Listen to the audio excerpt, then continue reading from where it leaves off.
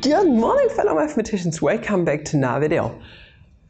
That's the question for today, differentiating x factorial with respect to x. And this video has been requested like for one year by now, um, and I just couldn't wrap my head around this topic because when looking at it, it looked pretty fucking hard.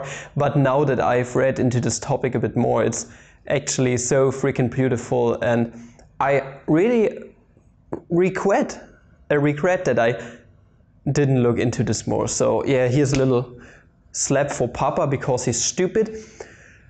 Yeah, but we are going to do this today. We are going to differentiate this thing right here. And at first you might ask yourself, Daddy, x factorial, differentiating doesn't make any sense. It's a discrete variable. So how would you differentiate something discrete? And here comes my 2 equals to 1 proof video into play because there I have defined a discrete mathematical equivalent to our good old differential operator, namely the finite difference. So for starters, we are going to start off with the finite difference of x factorial. Well, this is nothing but x plus 1 factorial minus x factorial. Just take a look into the description. Maybe there's a video there if you haven't seen the video yet. The cool thing is, factorial is defined in a recursive way, so that's nothing but x plus 1 times x factorial, meaning we have x factorial as a common factor. We can factor it out. I want you guys to notice x factorial is nothing but 1 times x factorial because if you have one apple, then you only have one apple. what stupid, stupid ass running joke. So factoring out x factorial leaves us with times x plus 1 minus 1. This and that is going to cancel out. Those are additive inverses to each other. So leaving us with x factorial times x. And for natural numbers n, this right here is a pretty good approximation of the problem, so turns out to be quite nice. But what the hell is it with real numbers, for example? So pi factorial, 1 half factorial, square root of pi over 2, if I remember correctly. Yeah, so how would you deal with something like this? And there comes, uh, comes the continuation of the factorial to the real numbers in, except for negative 1, negative 2, 0, blah, blah, blah.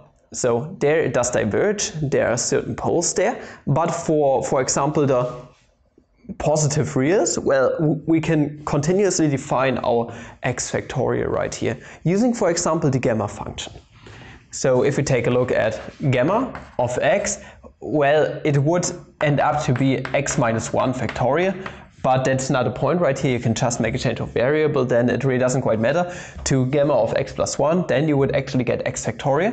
And that's nothing but the integral running from 0 to infinity of, okay, now I have to think, because in the normal case I'm using z as a variable, because you can actually analytically continue this to the complex numbers in some way. So this is going to give us t to the x minus 1th power times e to the um, negative t integrated with respect to t. And yeah, you can now differentiate this thing right here and basically yeah, uh, end up with something. I'm going to make a separate video on that because that's actually pretty quite cool. So you can differentiate this using the Leibniz rule for integration, just parameterize it in a certain way, or just differentiate this. Yeah, it's already parameterized with this x right here. But I have introduced other definitions of the gamma function for this very reason right here. And for this I would like to take a look at the Weierstrass definition of the gamma function. I have introduced it because it's pretty damn important and it brings together the Euler-Mascheroni constant and our gamma function in itself. So if we take a look at the pure definition, we're going to end up with Okay, 1 over gamma of x, you can just take the reciprocal on both sides. It it does work out, it's nothing but x times e to the Euler-Mascheroni constant times x times the infinite product from uh, k equals to 1 to infinity of 1 plus this time x over k e to the negative x over k. Like I said, I have to think about it because in normal case I'm using z right here. okay, this right here is our Weierstrass definition and you see we can actually just make use of implicit differentiation right here in a second because, yeah, it does work wonders. So differentiating an, an integral is not too easy in a normal case because you have to evaluate another integral in the process. But right here we just have to deal with a product really. So either you use the product rule on infinitely many terms or we are going to use implicit differentiation. It's way easier to use the linearity of the differential operator instead of using the product rule because this can get really messy pretty fast. How can we turn products into summations? Well, using our boy, the natural log. So if we take the natural log of a times b, we can actually express it as a functional equation. It's nothing but natural log of a plus the natural log of b.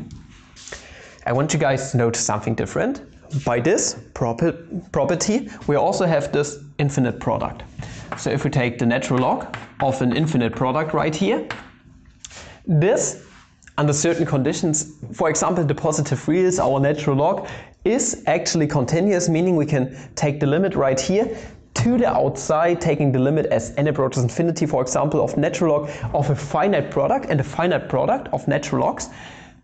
Um, no, the finite product of the arguments of natural log can be expressed as the finite sum of the natural logs with different arguments in itself. Meaning, under certain conditions, we can bring the limit to the outside, and then we can actually turn this into an infinite sum of, well, those natural logs right here. Meaning, we can easily get rid of this right here. So if we take the natural log on both sides, the natural log of 1 over gamma of x, and I'm terribly sorry for my ugly looking gammas. Well, this is gamma to negative 1 power. Using natural log properties, we can bring this negative sign to the outside, so that's good. So that's negative, the natural log of gamma of x. So we have this in itself, natural log is easy to differentiate, it's now nothing but. This right here is going to end up with the summation of all those uh, all of those different arguments. So that's the natural log of x plus the natural log of e to the gamma times x, Euler-Mascheroni times x. But this right here, natural log and the exponential function are going to cancel out to the argument in itself. Okay? That's pretty easy to confirm, so no real problem there.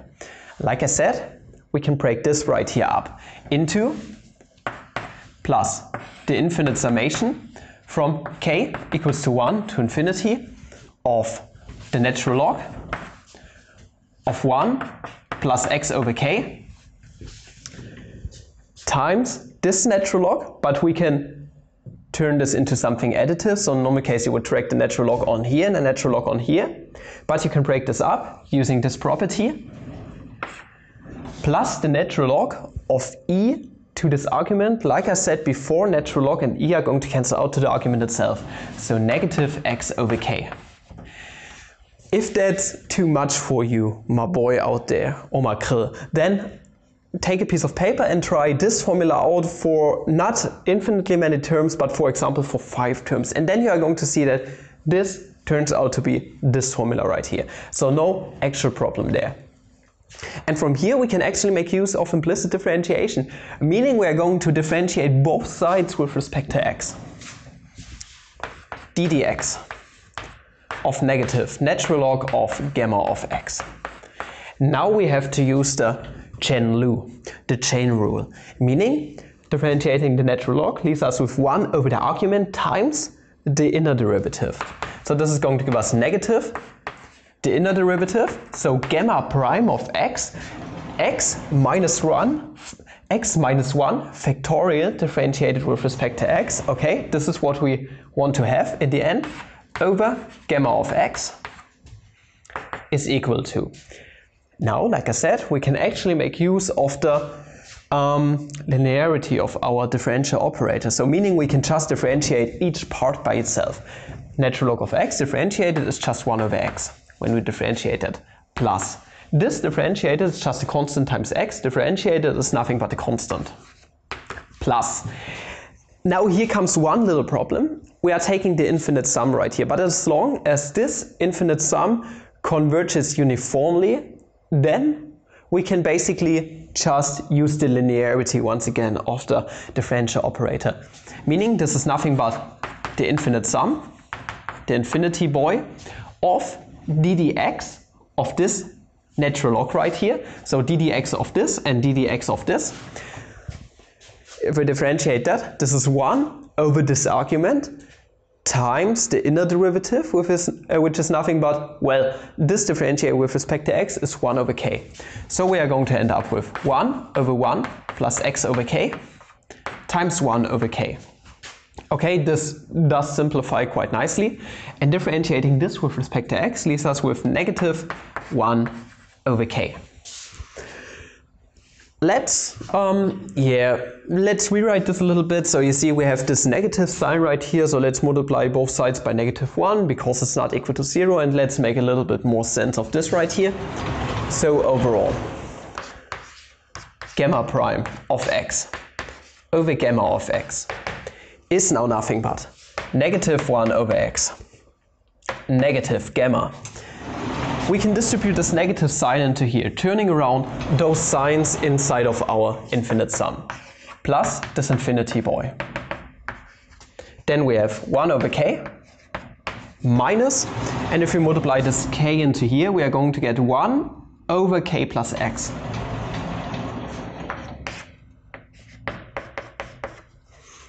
And this is it. Now you can multiply both sides by gamma of x, and then you actually have the derivative of x minus 1 factorial in this case. Make a change of variable to x plus 1, and then you actually have your derivative of x factorial. And I want to introduce a little new notation right here. This thing right here, this kind of natural log, the derivative of natural log of the gamma function, is also called psi, or the digamma function of x in this case. You are going to see more notations of this because we have to deal with the polygamma function soon. This right here, this digamma function, is the zeroth polygamma function. But whenever I want to talk about the digamma function, the psi function, I'm just going to put it like this. That's pretty dope. Keep this in mind. And you can actually rewrite this a little bit more. So if you um, want to take a look at, yeah, this x factorial differentiated in itself. So we can make a little change of variable. So psi of x plus 1 is nothing but. Okay, this is going to give us, let me see, negative 1 over x plus 1 minus gamma plus. Um, I'm just thinking, no, we, we are going to do this a little bit differently. I'm not going to plug this in right now. This is just a little bit complementary stuff right here. I want to take a look at this stuff right here at first, okay? Just at this. to 1 to infinity of, okay, basically you can break the sum up, so taking the sum of this and then taking the sum of this. I just want to take a look at this part right here. We have this negative sign, doesn't quite matter, 1 over k plus x, and then we have plus 1 over x. Okay, this is something we can actually do. Let me see how we can turn this around a little bit more. You see, 1 over x is nothing but 1 over 0 plus x or x plus 0. Meaning we can actually let our sum run from 0 right here. So this is nothing but a sum running from k equals to 0 to infinity. I just want to make little changes of variable here to, to get rid of this part, for example, right here. Be, because using uh, this, yeah, is convenient, but using this formula with one less factor, you could say, is maybe a little bit more convenient. So we are going to have 1 over k plus x. Now, we can't really put those sums together anymore because our running index is different. But we can make a little change of index. Let's say we are going to let, um, we want to let it go from 1, so we have to substitute k by um, n plus 1. Okay, so if we plug 0 into here, then our, um, let me see, let me see, let me see, let me see. um, if we would plug k equals to 0 into here, no, um, k plus 1 has to be equal to n. Okay, if we plug 0 into here, then n is actually going to go from 1. Okay, I'm terribly sorry for this. And we can actually subtract both sides by 1 to get that k is nothing but n minus 1 in this case. So we can plug all the new stuff into here, leaving us with a sum running from n or k, I really don't care. I'm going back to k just because of this running index up here. k equals to 1 to infinity of 1 over k minus 1 plus x. Okay, you see, this was just some shifting index action meaning our digamma function of x or our polygamma function of the zeroth um, not, not kind to the zeroth polygamma function whatsoever is equal to, okay, we got rid of this part right here, so we have negative Euler-Mascheroni constant, plus we can bring those two sums together once again, sum running from k equals to 1 to infinity of 1 over k don't forget your negative sign. We have all those negative signs right here. I just disregarded them because, well, it really didn't matter for this problem. Negative 1 over k minus 1 plus x. This is another formulation of our digamma function and now it is easier to see how we can actually turn this into um, x factorial and its differential because if we now make this z change of variable so digamma of x plus 1, we're just going to plug x plus 1 into here. It's nothing but negative Euler Mascheroni constant, infinity boy of 1 over k, minus 1 over, okay, x plus 1, this 1 is going to cancel out, k plus x. And there we go. This right here is our digamma of x plus 1, which is nothing but gamma prime of x plus 1 over gamma of x plus 1 and here, this is just a derivative with respect to x of x factorial and this down here is just x factorial. So multiplying both sides by x factorial you actually get your derivative. There are many applications of this thing and we're going to apply this thing soon to some stuff. I thank you guys for my chalk. I thank you guys for watching. If you did enjoy this video, please like and subscribe and recommend channel if you like.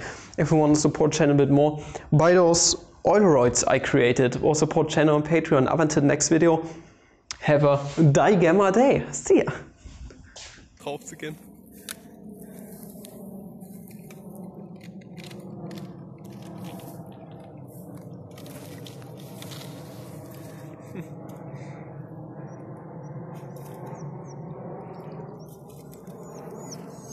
Anton, willst du auch mal einen Zentimeter drauf?